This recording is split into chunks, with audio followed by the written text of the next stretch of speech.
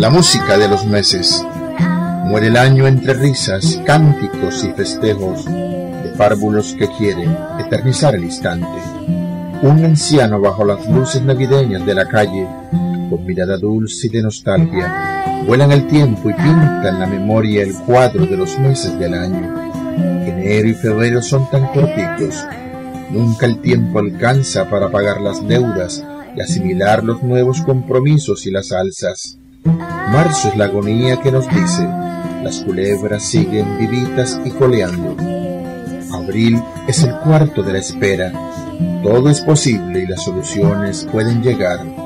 Sorprende mayo con sus nuevos colores y la presencia eterna de la madre que nos trae las lluvias, las flores, el aroma de las frutas y otra vez la esperanza. Julio tiene la cara del maestro regañón, nos advierte que vamos a mitad de camino cosas hemos aplazado.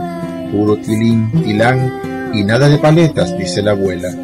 Julio y agosto son la liberación de los tormentos. Recargamos energía y creemos que los sueños pueden cumplirse. Septiembre nos sacude y nos pone a ver el mundo al derecho, como una película en blanco y negro.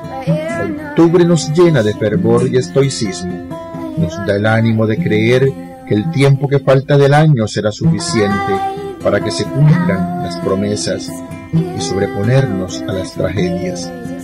Noviembre es la resignación. Nos convencemos todos nuestros deseos no se podrán cumplir y empezamos a imaginar el año venidero.